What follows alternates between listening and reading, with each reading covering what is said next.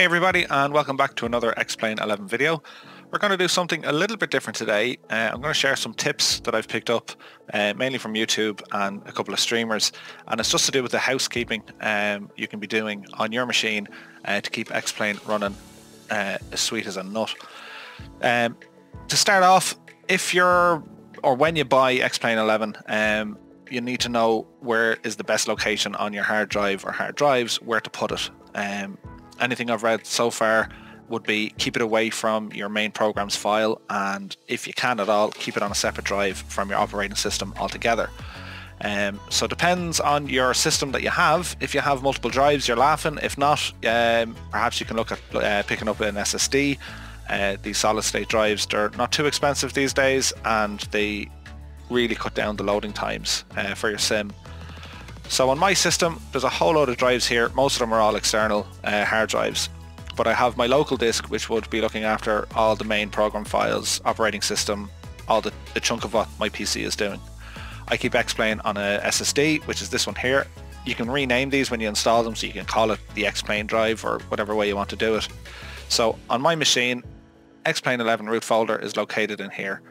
Um, and, you know, if you're looking at the size of what's available, if your uh, custom scenery, if you're collecting it over the years or all the aircraft you're collecting over the years, you can eventually then move them um, to a different drive if needs be. They can go onto an external or another SSD. Um, you can use anything like, uh, I think it's symbolic drive or, you know, you can use a hard copy or a soft copy. Um, there's plenty of videos on that and we might have a look at it in another video. So on my system, for example, I have everything in here. The custom scenery folder, which is the bulk of all my scenery, which is massive. Um, you'll notice that it has the shortcut icon here. That basically is a symbolic drive whereby if I click in on this, this information, albeit the address is reading here, it's actually picking it up on a different drive over here. It's reading it from this drive here. Um, so that's the first thing to do. Always aim for a different drive if possible, but uh, definitely keep it away from your program files and anywhere that your operating system is going to be checking out. Okay, next thing to do is looking after backing up some of your files.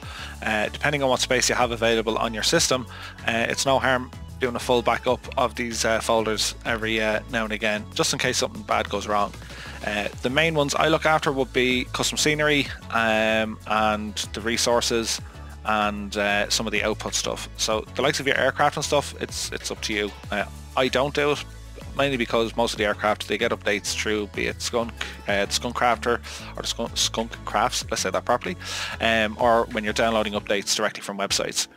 So if you go into your output folder, there's a couple of folders in here you need to keep an eye on uh, particularly if it comes to your updating X-Plane, be it there's a new release or you're going to beta test stuff, uh, and as in you want to get the new beta. So when your X-Plane is running nice and sweet and you're happy enough with it, it's no harm to a backup of your preferences. Um, if you ever have a problem then when you install the updated version, there's a number of files in here you can keep rather than deleting the entire folder all right? Because when you delete the whole folder you have to go back through all your control settings assign keys and it just takes time. So you can keep your control profiles your achievements um, your calibration joystick settings keys window screen uh, or screen res and window positions. They're the ones that I keep. So I'll copy them save them somewhere safe and then I'll just delete the folder and then when X-Plane reloads uh, and it uh, initializes, it rebuilds all these for you. So it's only a matter of throwing them back in and overriding them. That way you get to keep all your keyboard settings and bindings and all your joystick settings. The next one to look at would be the shader cache. So again, it's recommended, uh, depending on whatever system you're using, you can delete what's inside the, the uh, shader cache and then when X-Plane reboots, it'll reinitialize that for you. So this can be particularly useful if you know you're averaging 30 to 40 frames before an update. You've then updated X-Plane and then you know the next thing is you're getting 15 to 20 frames. I would always start looking at your shader cache and your preferences. And once you delete them and keep the main files you want to keep, uh, it tends to give you back the performance you once had. Okay, so next up then, it's all of your activation um, numbers. So you buy an aircraft, it comes with an activation number. You buy some of the scenery, it comes with an activation number. Um, you most of the time, the site in which you're buying, it keeps it there, um, or you get an email with it. What I tend to do is just create a simple spreadsheet and just keep everything there so at least everything is uh, saved. Now, I obviously have these blanked out for a reason, but on my list I'd have, you know, all the aircraft that I'd have and also the um, the serial numbers for them.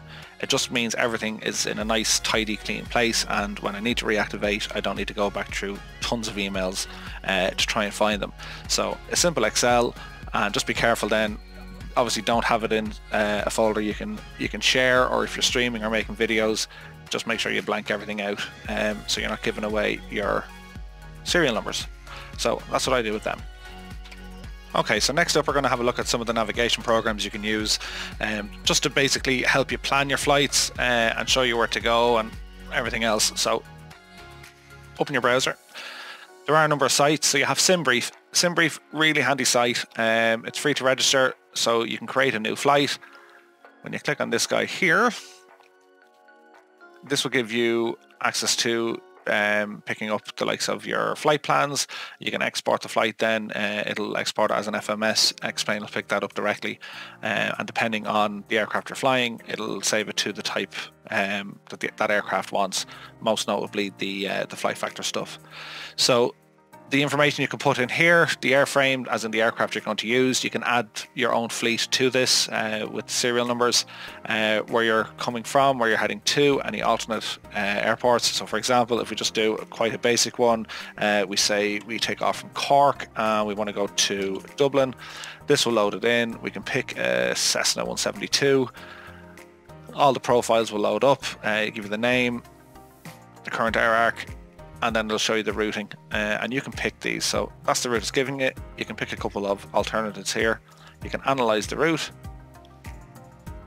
and that's it. You can then go and export that straight into uh, X-Plane so I like SimBrief um, and I think Project Fly can link to this as well. Uh, so next over we have SkyVector or SkyVector uh, highly detailed in the US, uh, but I do a nice bit of flying here in uh, Ireland, UK and some of Europe. Um, again, another free site, you can register it up. You can go into a flight plan, say where you want to go from. So we say Cork uh, to Dublin. It'll load in a direct line and then you can add in some alternatives or go via. And a simple thing is even dragging it and go via Waterford here. So if you plan that in, it'll give you the information around Waterford. But you can go via, so if you just drag it down and you can add it to your plan, it adds it to your plan. Uh, and again, it's it's really handy for just getting some information. Um, like it tells you some of the coordinates, the, cla the uh, class airspace, um, or any restricted areas as well.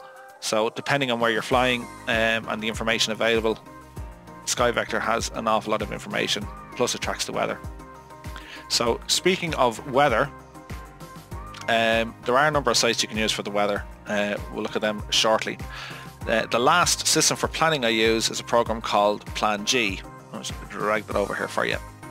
So Plan G, uh, again, another free program, which is awesome. This has a lot of information again for you. So you can set up a plan, um, you can find certain airports, and it'll give you a lot of information, various waypoints. Um, it even has airways, and you can tell it what you're flying with, be it VFR or uh, or IFR, but it'll give you high altitude and low altitude airways as well. Um, there is a connect mode on this. It'll connect directly to X-Plane. You need to download, um, I think it's XX or XPU IPC. It's one of them. You see the links on it.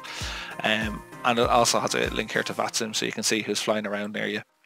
So Plan G, it's it's when you connect to it, it essentially becomes a moving map, and it is very handy. Like I found with the uh, the new stuff from Orbx, the True Earth stuff. Um, I like I'd, I'd know some of the areas here, but like you'd be flying down into small little areas, and it'll give you all the name, Thorney Island, and we're coming over here to Bosham, and you know it's just it's another way to keep um, keep everything in track and in line. So you've Plan G there, which is really good. Now onto the weather. Depending on what you're using, be it Active Sky or Ultra Weather um, or FS um, Global Real Weather, um, if you don't have any of them, you can still get an idea of what way the weather is around you. Uh, Q8 Pilot showed me this link. Uh, he had on one of his videos, and this is called Ventusky. Now it's similar to that of the Windy app, but it just gives a very good indication um, and you know what way the weather is going to be, where you want to fly. If you're, you know, it depends if you're doing short range or long range flights. Um, so you can go to wind speed, wind gusts, if there's any precip, uh, temperature, and with the wind speed is interesting because it goes up quite high. So it'll give you an indication if you're planning your flights uh, and where you want to fly to, depending on the wind speed, that'll have an impact on your fuel usage. Uh, so Ventusky, I, I just like this website. It's uh, it's quite in depth. You can go back, um, look at historical data, or you can go forward to give you um, fairly accurate forecastings of what way the weather is going to be. So I'll leave a link for that in the description below. So next up, we've just uh, fired up the sim here and we're just going to go in through uh, some of the settings here just to give a, a, brief outline. Most of the stuff you're going to know yourself. The main ones that I look at would be the flight model, the uh, how many frames you're going to be running. Um, depending on the aircraft you have, and you'll notice this, if you're flying choppers a lot, you'll find you need to ramp this up to between 8 and 10, and basically it gets rid of the shaking uh, that's in the aircraft. Uh, I tend to fly a lot of GA aircraft. I tend to leave this set on 4. Uh, it just it, basically it's um, if you're flying kind of smaller aircraft, it just means that like the ground doesn't come up on you too quick because the simulation for the aircraft uh, runs that a little bit smoother. Obviously, then if you're you know the bigger the slower yokes, um, keep it on the default. So I usually leave that set on four for GA aircraft, and if I'm flying choppers, I ramp it all the way up to uh, up to 10. Um, your sound settings, it depends again what you're going to be using. It's up to yourself really.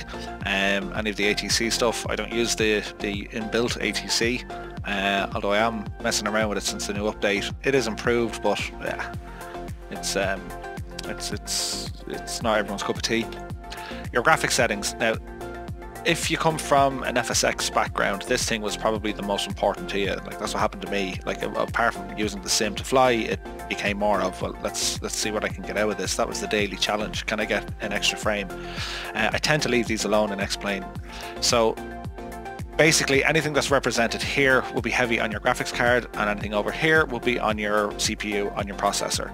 So for me, this is fine. This all works for me and it's based on my system uh, which I'm using a i7 7700K um, at around 4.6 and I have a GTX 1080. So everything here is fine. Um, your visual settings, field of view, again, it's up, it's up to you really. I use 85. Um, any of the offsets don't need to use. Uh, visual settings, forward with a 3D cockpit. Um, and then sometimes you have these offsets I found in the last couple of updates and X-Plane these tend to move during the uh, during the sim only by tiny numbers. So it's just a matter of resetting them. Over then to your network settings. Uh, so again depends what you have attached to um, your sim. Be it you know you can have a tablet running you can have uh, additional PCs running. Uh, you can use this in network mode. All your settings are in here data outputs, the main thing I watch is the frames uh, when I'm testing different uh, locations or sceneries and just get a general handle on what way performance is. So if you click on frame rate and show in cockpit, you get the line, um, which is this guy here. That'll appear on your screen and it'll give you an idea of where your frames are. Just while you're looking at that, it'll tell you what your CPU is trying to do and what your GPU is trying to do. So usually if whatever number is quite high, uh, and you're getting low frames, that'll indicate what um, what piece of hardware is suffering. Back into X-Plane then, and then you can adjust your graphics uh, depending on the numbers. So the higher numbers being read from the frame rate counter, um, you could try and lower something in here. Joystick settings, the setup I have, uh, I have the HOTAS Warthog there from Thrustmaster. Um, again, it depends on what you want to use or what you want to fly. Uh, all these settings, these are just my settings. Um, everyone's are going to be different. Uh, one thing though I saw it on Catstrader's stream was there's a button I have binded uh, on the joystick which is the main number one fire button. Um, but what I have this binded to is select the camera with a view ID of one. So whatever you're going to save as your default camera in X-Plane, be it you know the cockpit cam or the main camera you use, um, when you're panning around the aircraft or if you're outside or inside or you're doing a flyby, it's only a matter of clicking one little button and it gets you straight back into the cockpit in the native view that you're you're going to do most of your flying with. Um, so that's there. Uh, you have a number of profiles you can create. So user profiles, I have set up the HOTAS. I have one for the um, SIAI Marchetti only because the flaps, uh, they're not incremental, they're constant. So when you move your flap lever, uh, it depends how long you have the button pressed for, that'll move your flaps. Um, so I have that set up there. Um, for airliners, depending on whatever throttle system you have, you might want to have a dual uh, throttle system. Um, and then the mixture, I would put that onto the spoilers. Um, and then everything else HOTAS tends to be for the uh, for the vast majority of everything else. So that's what do with that. Control sensitivities, again, it depends what you're trying to do uh, or what you're trying to get out of your sim. These are my settings. I'm happy enough with the results. Um, your mileage will vary. So there are a number of videos out there. Um, so it's, it's trial and error. Like it's, you're not going to do any harm for it. Best thing to do, um, you know, if you're going to change anything, get the snippet tool and you can just, you know, draw a big snippet over it, save the picture, and then if you do change anything and you forget, well, at least you have uh, a screenshot of what it is, or even use your phone uh, and just take a picture of it. Keyboard, all your key bindings, um, depending on what it is you want. So, for example, you could have your view set up to your numpad. Um, you could have uh, some of the other plugins like um, X ATC Chatter or X Camera. Uh, you can bind all them to keys. So they're all, it's, it's, again, it's user preference. It's whatever way you want to do it. Uh, GPS hardware, if you're running any external uh, moving maps, be it the, um, I think it's uh, ForeFlight, bits and pieces like that, and then VR hardware. So if you have VR hardware, be it the Oculus or the, uh, the Vive, your settings go in here. So that's pretty much all my settings that I do, and uh, yeah, it, it works fine. So when it comes to creating a flight, there's a couple of things you can do in here, okay? You can select, um, obviously everything's broken down by uh, the type of aircraft that it is. Um, and then we have obviously whatever airports, the weather and the time of day. But we'll start with the aircraft. So if there's an aircraft that you're constantly flying uh, and you just happen to really like it, you'll notice that there's a star in the top right hand corner. If you click the star, it'll then create a new uh, category up the very, very top and this will place all your favorite aircraft. So depending on how many planes you have in your hangar, uh, and you know, it's not about how many planes you have, it's, it's what you fly the most. So once you do that, you can highlight it as a, a favorite aircraft. It'll be pinned to the top. Uh, and the, the, very same way when it comes to your scenery. So your location, once you type it in or you find it, uh, again, if you hit the star, it'll flag it. So if you go by all your stars and you click by it, it should be able to put all of these together, uh, all at the top of the screen so it's only a matter of, uh, there's probably none saved here because I changed my preferences. So say there's one uh, and we go say Dublin, I want to use that as a favorite as well. And uh, I'll just say Cork. So if these are going to be your favorites, if these are the airports you're going to be flying to most of the time, once they're all starred uh, and you click the star button, it'll keep them all up the top for you. So it just makes things a little bit quicker when you want to go back into your sim and you know if you downloaded a new scenery or you've bought a new scenery and you want to fly over there uh, quite regularly, just hit the star and it'll save it for you as well. Um, with the weather, uh, depends on what you want to do. You can use real world weather, you can create your own, uh, or you can use a custom METAR. There are plenty of videos on that. I won't go into it too much today, um, but that's everything for your weather. And then your time of day, you can pick uh, the time of year. There's no seasons as such in X-Plane, but uh, for example, if you're flying in uh, wintertime in Europe and 10 o'clock at night, it's going to be pitch dark, as opposed to if you're flying in the summertime at 10 o'clock, it's kind of sunset or it's dusk. So that's kind of uh, where all that's from.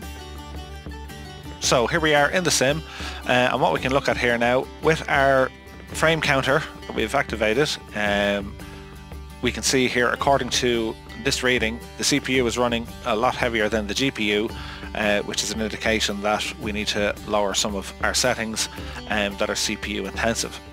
So to do that, we'll click on our settings, we'll go over to graphics, and we'll pick over this side, which tends to laden the CPU. So if we bring these down to medium, so we're getting about 40 frames, we'll select this and it'll reload after a couple of minutes of reloading, you can see that our frames have now increased uh, almost by 10 more frames uh, and the CPU has lowered a bit and the GPU is still ticking over nicely. So it has a huge impact on, uh, on your flight sim performance. So another little tip while we're here, I'm panning around the aircraft. I'm using the default uh, view system. If you hold down the control key and use an arrow key, uh, it gives you this small, small, this slow, steady movement. Um, usually you can click on the screen with the right button on the mouse and you can pan around and up or down or whatever. But uh, if you just hit control and move an arrow key, you still have the function of your mouse here.